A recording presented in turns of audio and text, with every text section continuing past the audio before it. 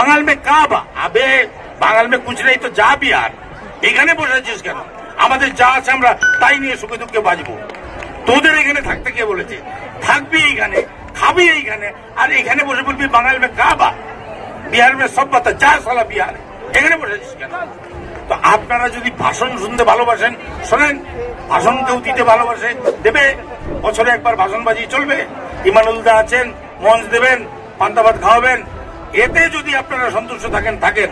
আর যদি আপনার মধ্যে বাঙালি রক্ত থাকে, বিনয় বাদল, ক্ষুদিরামের রক্ত থাকে, নেতাজি সুভাষচন্দ্র বোসের রক্ত থাকে, মাতৃভাষার প্রতি, মাতৃভূমির প্রতি প্রেম থাকে, তাহলে আপনার ভিতরে সেই ক্ষুদিরামের আগুনকে জাগাতে হবে। আপনাকেও কিন্তু সোচ্চারে বলতে হবে, এক বিহারি সব বিমারি বিমারি চাই না, বাংলাকে বিমার মুক্ত করো।